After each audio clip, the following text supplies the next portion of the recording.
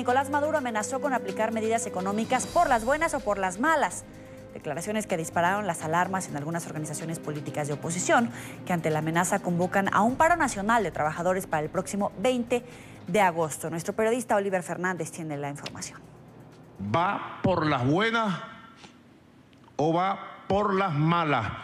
Que se pongan los patines los que están pensando en la forma de voltearlo o de burlarlo. Que se pongan los patines, compadre, para ver si llegan patinando a Miami. Para el exgobernador del estado Bolívar, Andrés Velázquez, estas declaraciones del presidente Maduro revelan la ignorancia del mandatario en materia económica. La economía es una ciencia. La economía no se detiene o avanza por los caprichos de un gobernante o por los impulsos intestinales que pueda tener un gobernante. Ante la amenaza madurista de aplicar medidas económicas a la fuerza, el presidente del partido Causa R convoca a los venezolanos a un gran paro nacional para el próximo 20 de agosto. Y este no es un paro de empresarios, esto no es un paro de comerciantes, este es un paro de los ciudadanos. Es un paro que como el 20 de mayo deja las calles vacías.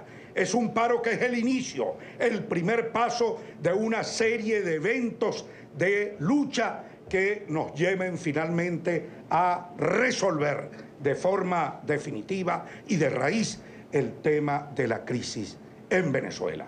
El desespero de los ciudadanos ante la crisis es evidente. Muchos están dispuestos a paralizar sus actividades. ¿Estás de acuerdo con un paro nacional? Sí. ¿Sí? ¿Por qué? Ay, todo, todo está colapsado, todo. O sea, imagínate, tú tienes que comprar tu propio efectivo, la propia moneda del país. O sea, ya es demasiado, ya estoy que lloro, no aguanto, no aguanto, de verdad. Hacer lo que sea para salir de, de esta pesadilla.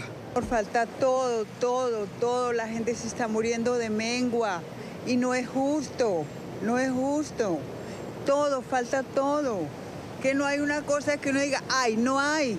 Ni siquiera para comprar porque no hay billetes. No puedes comprar ni siquiera.